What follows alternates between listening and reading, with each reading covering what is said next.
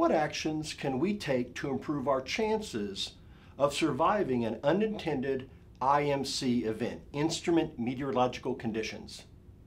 Imagine we find ourselves in an environment where continued flight VMC is no longer possible and landing is not an option.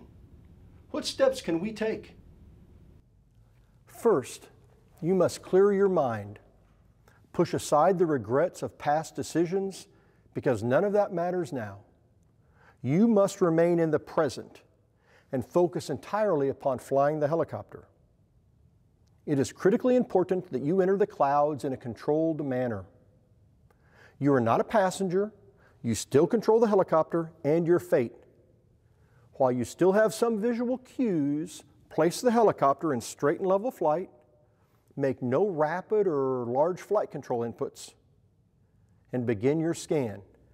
Attitude, airspeed, altitude. Resist the urge to look back outside.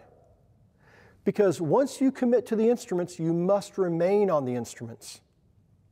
Be still in your seat. Do not move your head about unnecessarily. Head movements will only aggravate your vestibular system and increase the difficulty of flying the helicopter.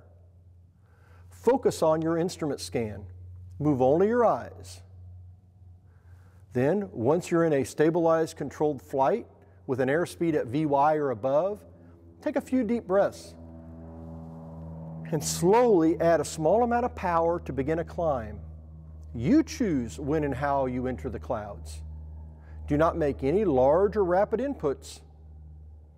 After you've established yourself in a controlled climb, you may consider relaxing your hand on the collective. If the collective has sufficient friction to maintain its placement, you may find it easier to maintain control without much, if any, additional collective control inputs. Turns should only be made if absolutely necessary. Otherwise, climb straight ahead until you reach VMC conditions. It's always a good practice to know where the clouds are because if you are unable to climb to VMC above the clouds, you may have to maneuver while IMC. Once you are in VMC conditions or feel 100% confident that you are capable of diverting a portion of your attention to the radio, tune it to 121.5 and declare an emergency. But remember, flying the helicopter must remain your highest priority. Do not become distracted by the radio or feel compelled to comply with the instructions given on the radio.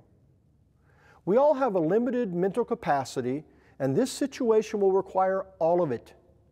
It is possible that you'll pop out on top and be able to fly to a location where you can descend and land VMC.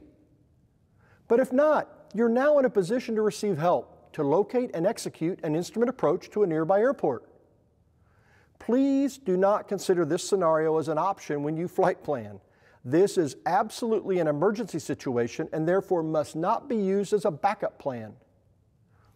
Making conservative decisions before the flight is the most effective way to avoid such a situation.